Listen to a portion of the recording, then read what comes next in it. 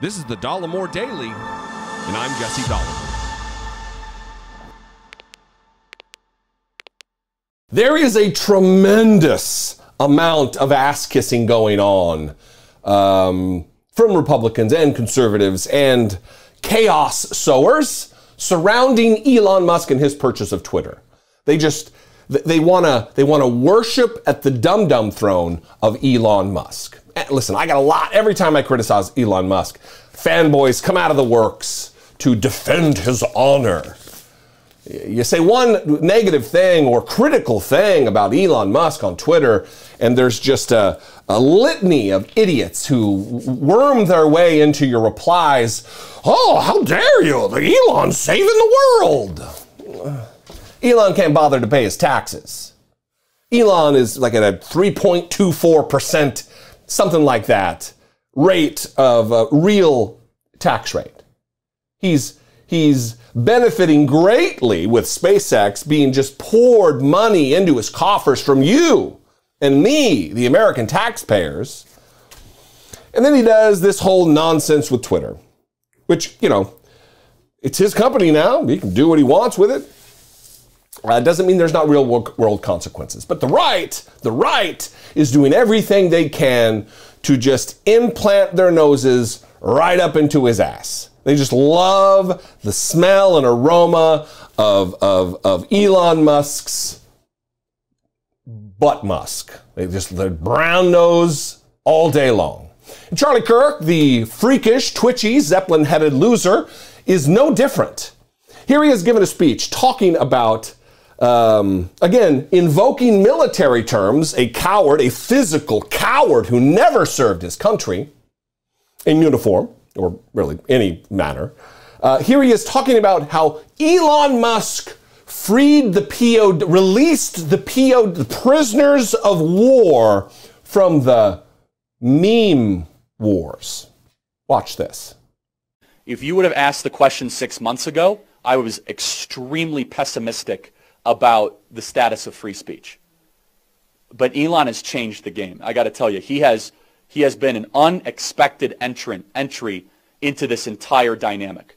Because I used to say, you know, we got to have Section 230 reform and do all these different things. I still believe that.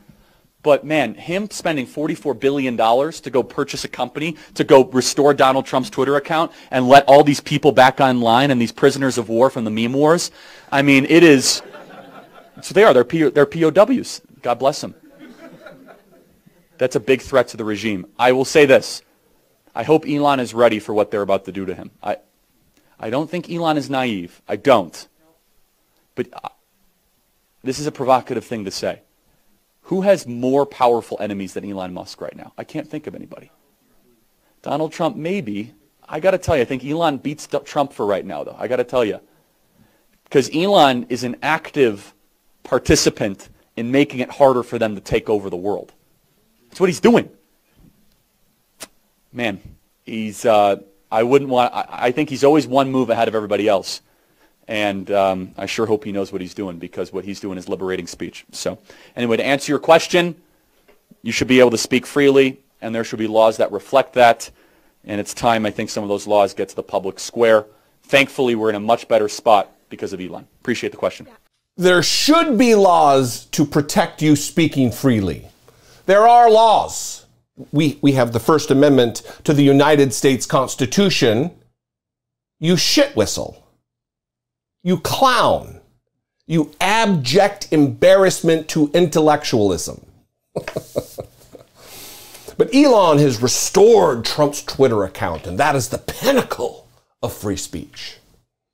Twitter initially, if you'll remember, uh, revoked his access to Twitter suspended his account indefinitely because of the grave threat that he posed as leader of the country in the executive branch by um, inciting violence against our country.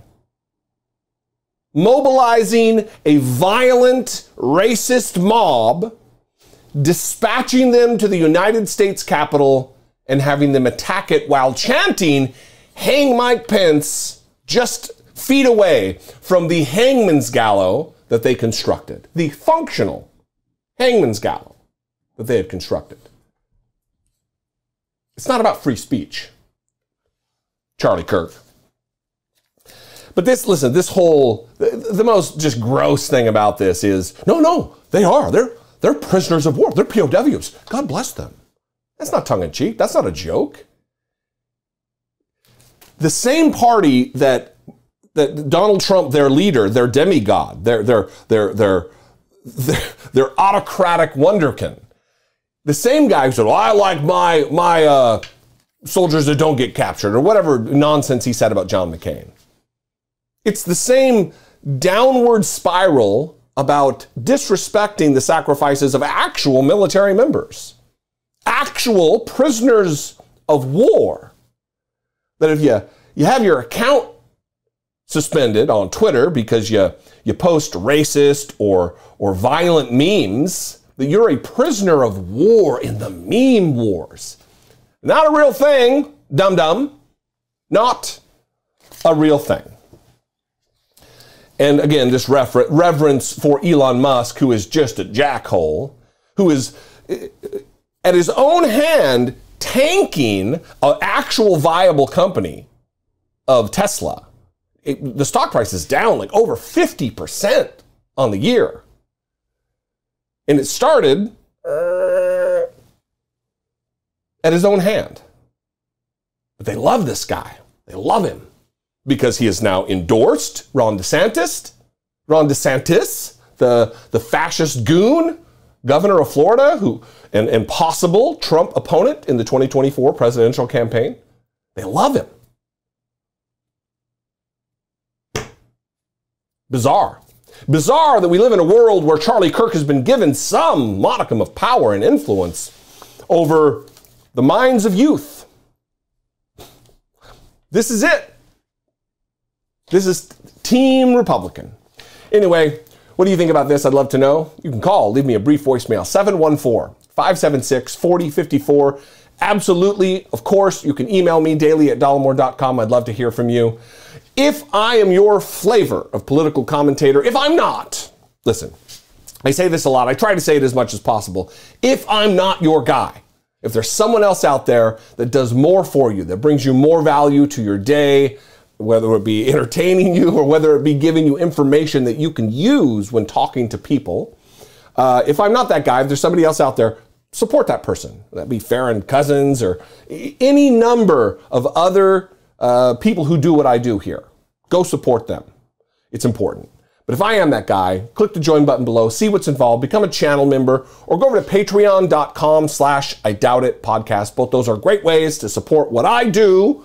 And I'm sure the other creators that you watch, if they're more important to you, they also have those same uh, mechanisms for support.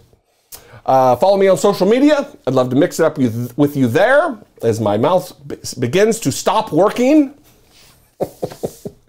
anyway, I love you guys. I'll see you next time. Until I do, be genuine. Take care of one another.